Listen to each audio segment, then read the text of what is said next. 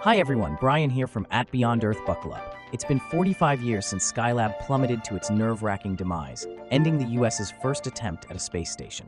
Let's take a closer look at what happened. In 1973, a new beacon of human ambition blazed in the night sky. Skylab, America's first space station, it was a testament to human ingenuity, a sprawling workshop orbiting Earth where astronauts, a crew of three, could live and conduct groundbreaking research. But Skylab's future was not without peril. As the years passed, a silent threat emerged, one that would turn this orbiting marvel into a race against time. Earth's atmosphere turned into an obstacle. As Skylab orbited, the thin fringes of the atmosphere began to drag on it, slowly but surely stealing away its precious orbital momentum. Unlike perfectly circular orbits, Skylab's wasn't quite round. This slight imperfection meant it dipped ever so slightly closer to Earth's clutches with each revolution. Sunspots weren't helping either. Though solar activity in 1979 wasn't at a peak, it did play a subtle role. Increased solar wind, a stream of charged particles, could have puffed up the upper atmosphere ever so slightly, making that crucial difference for Skylab's doomed trajectory. So, the initial elation about Skylab curdled into a nerve-wracking countdown. But there was a hope to correct this orbit in the form of the Space Shuttle. The Space Shuttle program was envisioned as a game changer. This reusable spacecraft promised frequent, cost-effective trips to space. One crucial capability NASA was looking for in the space shuttle was docking with and potentially repairing orbiting objects like Skylab. However, the space shuttle's development hit snags. A series of technical problems cropped up during construction and testing. These glitches caused delays in the program's launch schedule. The final crew of Skylab, aware that the clock was ticking down, tried a desperate maneuver. Just a few days before their departure on February 8, 1974, they fired Skylab's thrusters in a last-ditch effort to boost its altitude, a game of celestial inches hoping to buy time for a salvation aid.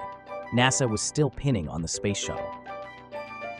But fate, or perhaps the sun's mischievous nudge, had other plans. The effects of Earth's atmosphere and the ever so slightly more puffed up atmosphere proved too much to overcome. Engineers scrambled. A heat shield, more akin to a parasol designed for a meteor shower than a space station, was a desperate gamble. Astronauts trained for a daring rescue mission, a Hail Mary to nudge Skylab into a safer haven. But as calculations turned grim, the gamble and the rescue faded. With a heavy heart, NASA conceded defeat. On July 11, 1979, the world watched, captivated and terrified, as Skylab blazed a fiery trail, a monument to human ambition succumbing to the unforgiving grip of gravity and a mischievous nudge from the sun. Skylab's fiery re-entry over Australia wasn't a clean success story, but it wasn't a complete failure either. The drama forced NASA to scrutinize their orbital mechanics calculations and spacecraft design.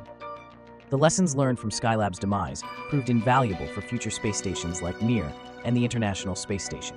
Skylab's story became a stepping stone on the path to long-duration space habitation. The success of its crew of three, living and working in space for extended periods, proved the feasibility of permanent human presence in orbit. This knowledge became essential for future endeavors like a lunar gateway or even a crewed mission to Mars. Despite its fiery end, Skylab continued to inspire. The scientific data it collected provided valuable insights into various fields, from human physiology in space to solar astronomy. The ingenuity and daring of the Skylab program continued to motivate generations of scientists and engineers to push the boundaries of space exploration. Don't forget to subscribe for more historical missions. Like and comment to share your thoughts, and share this amazing find with your fellow space enthusiasts. Together, we can unlock the secrets of the cosmos, one mission at a time. Take care of each other, and always keep looking up.